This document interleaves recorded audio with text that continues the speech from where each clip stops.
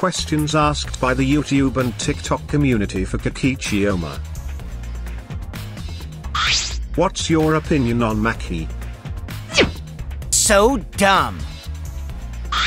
Kokichi, will you ever say something kind to Kiibo?